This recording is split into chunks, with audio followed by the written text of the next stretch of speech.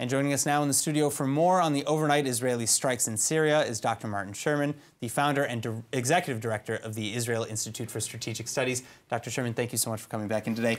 Uh, thank you for inviting me. So, do you think that Israel's message was received loud and clear, or is this really maybe just the beginning of something more sinister? Well, you know, in many ways, it's more of the same, only more so.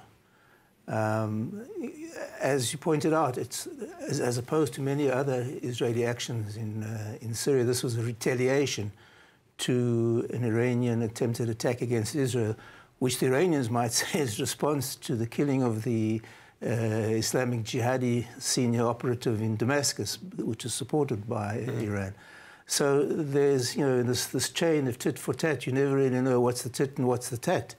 But um, it certainly seems to be on a bigger scale.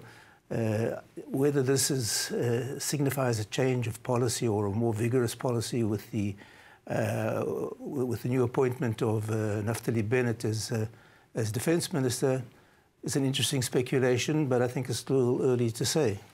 Is Israel in any sort of international uh, conflict by so to speak, breaking uh, Syrian sovereignty and, and attacking Iranian targets in Syria?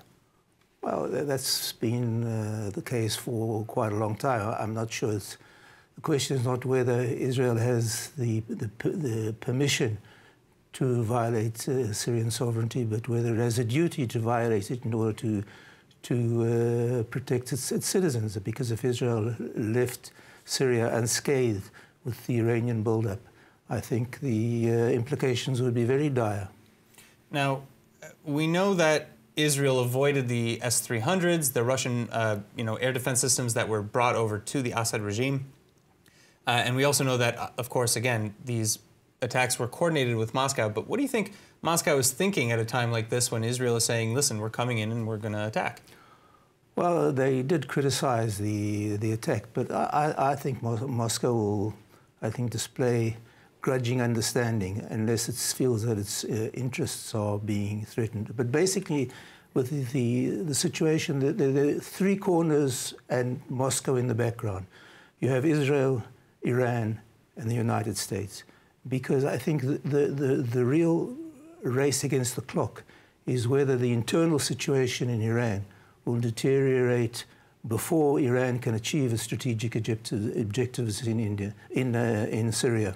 Uh, because we've seen that uh, uh, there are ongoing uh, demonstrations, disaffection. There, clearly, there's an internal problem in in Iran, and there is a lot of disaffection within Iran with all these overseas adventures. So I think I think on the one hand, you've got this rush by Iran to try and establish some sort of strategic presence and eroding situation in Iran. And then that, that, of course, depends on what the United States is going to do. Well, so what do you think is more likely to occur first? A breakdown internally in Iran caused by the continuing protests, uh, or maybe an uptick in, in severe violence, possibly a full-blown you know, war between Iranian forces in Syria and Israel in the north. Well, I'm, I'm, I'm, not sure they're mutually exclusive, although I certainly do hope, as I've been saying for many times. Do you think Iran would continue with a war if, if you know, protests no, no, no, I think, I, I, think, I, think, I think if internal disaffection spirals out of control, I don't think they probably have to curtail their, their, their external uh, uh, adventures. But I, again, I think you know it depends a lot on, on American resolve how they're going to pursue the sanctions what's going to happen with uh, Trump. Trump, up to a certain stage, so, showed a great deal of resolve and then backed away on a certain certain issues.